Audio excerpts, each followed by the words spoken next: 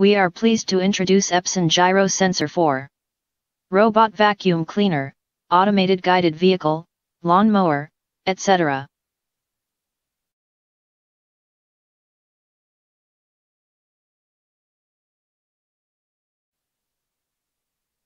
Gyro sensors, also known as angular rate sensors or angular velocity sensors, are devices that sense angular velocity or change in angle per unit of time.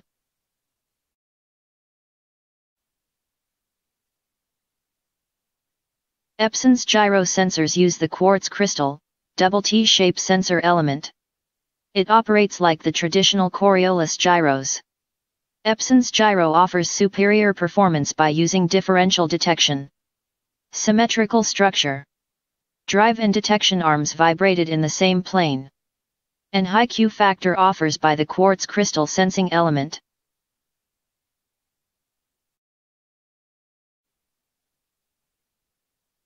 This table shows overview of gyro sensor XV7000 series.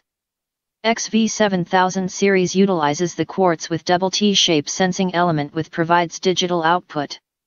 All XV7000 series are offered 5.0 by 3.2 mm package.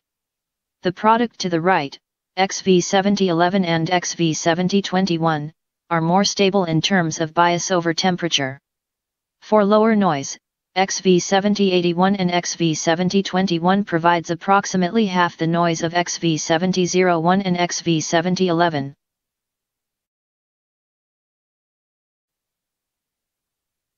This page shows the angle error simulation for 30 minutes continuously running robot vacuum cleaner.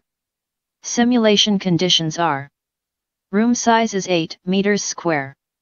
Speed of robot vacuum cleaner is 20 centimeters per second. Interval of round trip is 20 cm.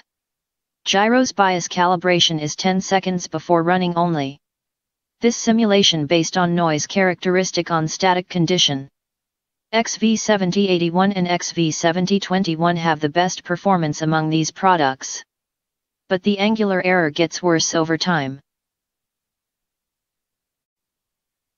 This page shows also the angle error simulation for 30 minutes continuously running robot vacuum cleaner. The only difference from the previous page is the gyro bias calibration method. The gyro bias was calibrated every 3 minutes, not just the initial calibration before running. XV7081 and XV7021 shows the best performance among these products.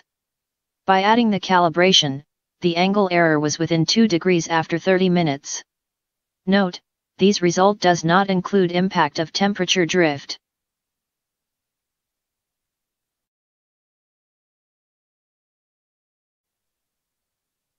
That's all.